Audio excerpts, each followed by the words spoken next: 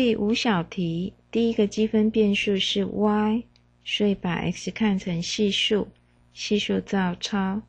sin y 积分是负 cos y，y 的积分范围是从零到二分之派，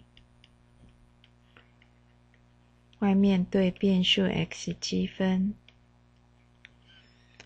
将 y 的上限二分之派带进来。负 x cos 二分之派，下线零带进来，负 x cos 零相减，对 x 积分，cos 二分之派等于零，cos 零等于一。所以前面这一项等于零，后面这一项负负得正等于 x。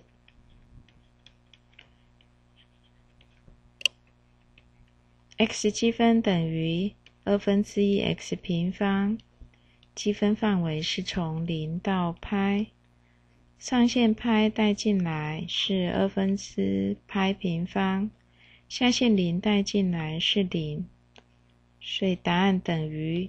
二分之派平方。